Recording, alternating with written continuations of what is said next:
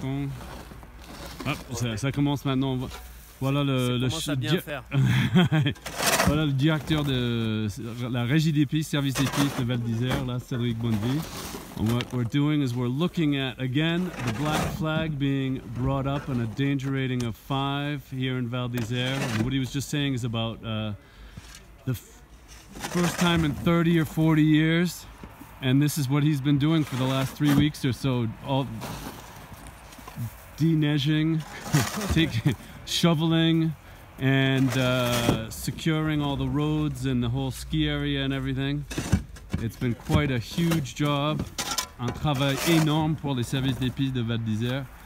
Et euh, voilà, bravo euh, les gars, puisque c'est quand même impressionnant. La semaine prochaine, on va aux Bahamas. Oh, oh, Bahamas. Oh, next week we'll go to the Bahamas, huh? Yeah, All right. Well, we'll uh, we'll look forward to that.